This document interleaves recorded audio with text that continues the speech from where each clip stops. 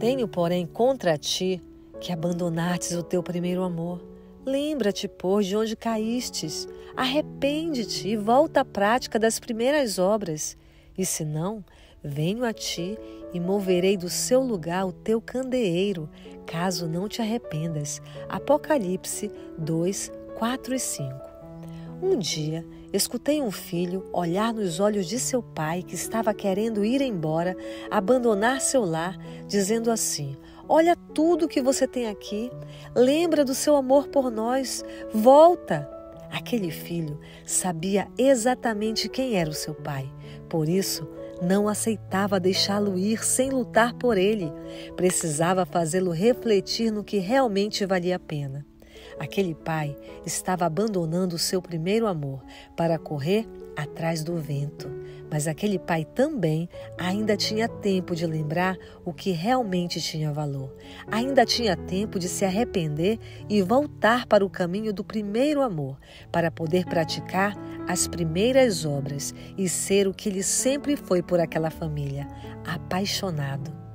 Essa história terminou bem. Esse pai teve tempo de voltar, recalcular a rota e se arrepender, tendo seu lar restaurado. Mas isso só foi possível porque ele submeteu-se ao Senhor. A igreja primitiva foi bem sucedida evangelisticamente, mas foram perdendo o seu primeiro amor.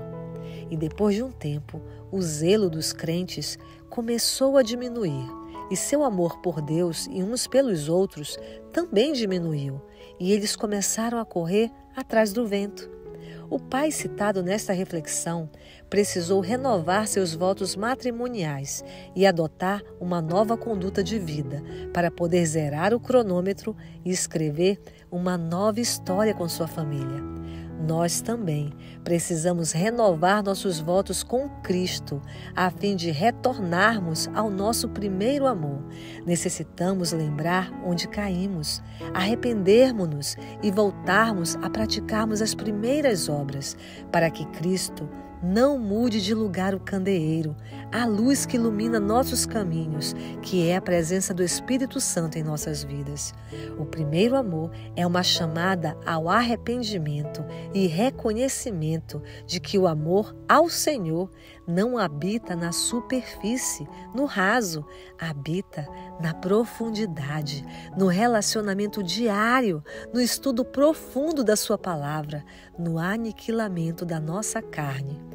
Submeta-se hoje ao Senhor e volte ao seu primeiro amor.